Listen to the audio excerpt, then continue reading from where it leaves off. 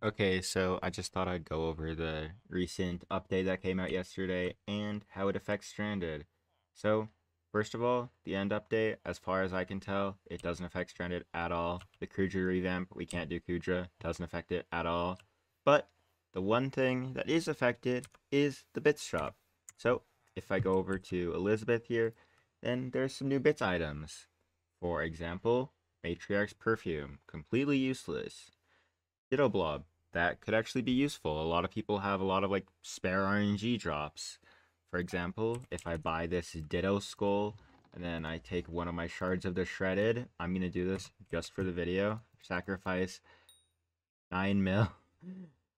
Uh, that's gonna hurt. But, you know, for the content, if I combine it like the like this in an anvil, now have a worthless Ditto Blob instead of a shard of the Shredded.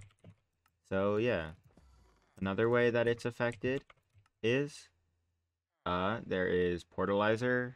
As far as I know, doesn't really do anything, judging as we can't leave our island. But some people are trying to see if we can get a portal on our island, and then the different dyes. Eventually, I'm sure somebody will be able to get that. I only have 100k bits, so I guess I'll have to buy some more cookies. And then Abiphone, we can't get any Abiphone. Um, Sacks, I think this is all as far as I can tell sacks. There's new pocket sack and a sack. So, you know, I just spent 30,000 bits. So, yeah, that's that's fun, I guess. Now I can do this and get some more things or whatever, I suppose.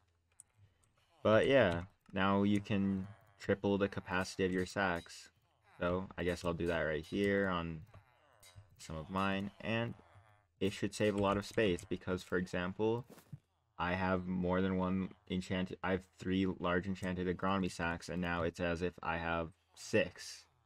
So it's pretty nice. I have 100k instead of like 60k now.